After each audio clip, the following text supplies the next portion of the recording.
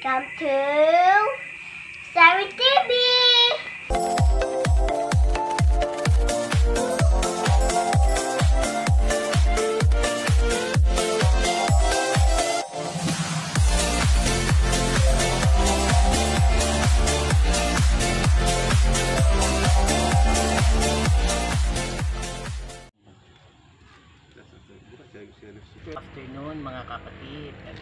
Ngayon sa prepare taog seedling para sa atong ah, coffee plantation. So this seedling is a coffee. This one. Like eh. Uh, year ago. Okay, so mag-prepare ta. Unsa na to pag-prepare unsa unahon para makahimo ta og English you know. kani this one. This is our product. Okay, first you have to select the seedling. Ah, so nandito na, we have it already. So lagyan natin ng soil, lupa. So of course you have to prepare lupa para sa seedling. Ilagyan natin yung roots, yung gamot ng lupa. Okay. So this one. Okay, pagkatapos meron na tayong seedling. Binabalot natin ng yuta. Okay, pasok na natin dito sa ah, plastic bag. Binabalak na yung tap. Okay, binabalot natin ng lupa. So well.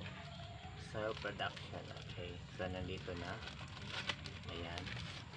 Then, pagkatapos dagdagan natin ng soil. So, please open the soil.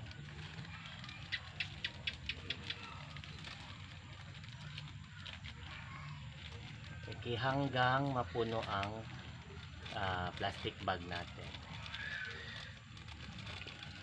Pag okay na, sige, close up dire. Mm, go. Okay, close up diri. Dito ka ng close up ang pagtrabaho. Kuwan pa na maghanap-hanap. Oh, taas taas gamay. Ayaw da ako pag i-close up, idirang kape ang i-close up. Magani. Sige nga ni.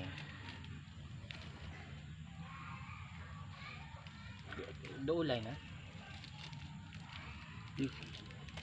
Okay, dagdag dagdagan pa natin ng soil para ma-penetrate yung gamot niya. Okay. So this one ready na, ready to release. Ready to plant it. This one. So hintay na lang natin for a couple of weeks para tumubo. Okay, so ito na yung product natin. This is ready for transplant. So for 2 weeks, ready for transplant na yan sa area. Okay, so for another another kind. So close up ang sige niya. Dito yung ano. Abo. Tugdok eh. Binabad namin yung binabad namin yung ano. Okay, so tingnan mo nito yung seedling natin. Okay, may tubig dyan. Okay, look at the water inside para para hindi siya ma Tuyot. ma-dehydrate yung gamot niya.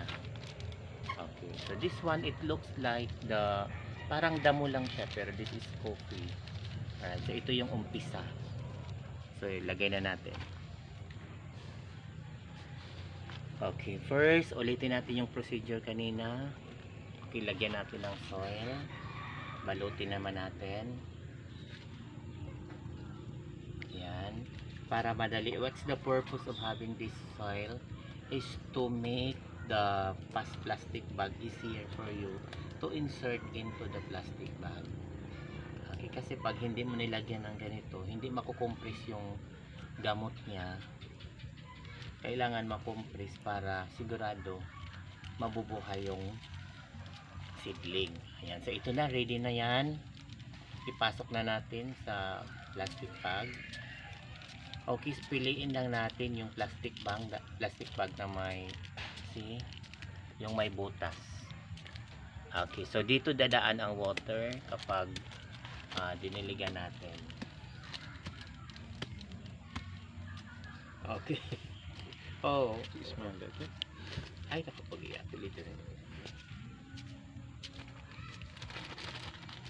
Okay, then kailangan um, i-gasokin natin.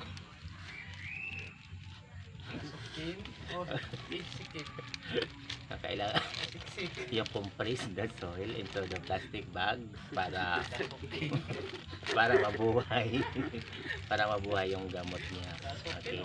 Kapag dinasok mo na yan okay na yan. Okay. Nandun what?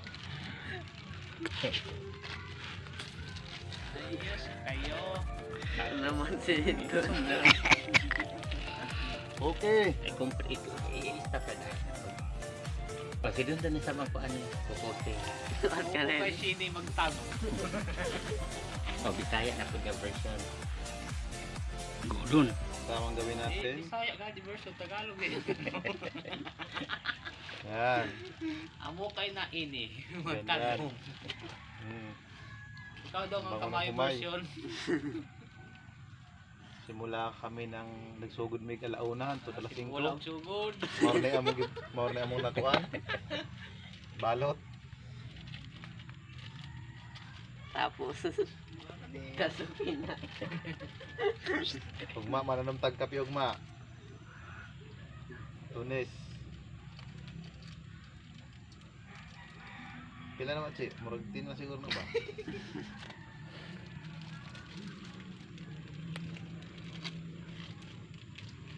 Na-picture ganyan for para sa kuan nato thumbnail. Apel to kang dun. Para sa thumbnail. Picture. Kailangan close up Karno, pagkain na human. Dapat mabot og 10 minutes video. o dali kay kamayo ra isang dayon para sa mga audience nato na mga kamayo Gain na mga kuan pa ito Nay, mula sa Barobo. Mao nang lupa na atong gamiton sa pagputos-putos og kape. Kana kana mo. Umpisa tayo doon na. Yung plastic bag. Then, step number 2, kailangan may ah, loam soil. Land. Okay, kailangan loam soil ang i-prepare natin. Huwag masyado yung maitim. Katamtaman lang yung ano niya. Our seedling, this one. Ayan. So, anong tawag dito? This is the small coffee. ah, ready for bagging. Ako man naman kailang step. Okay, then, at then meron na tayong nagawa. Okay, dito na. Okay, so ito na yung product natin para ah, ready na yan after 2 weeks. So, hintayin natin after 2 weeks. Meron ng mga ano dyan. ah, ready for transplant sa area.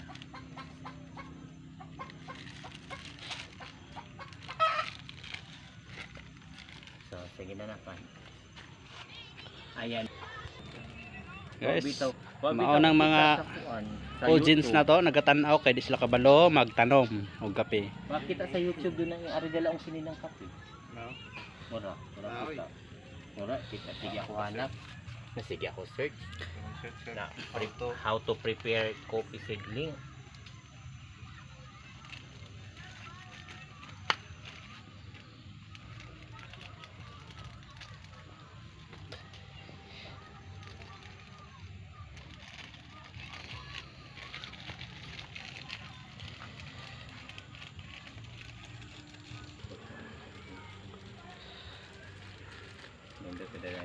Pag, mamunga radahin doon, meron da radahin ka itong mag-vlog doon kita ng hagis.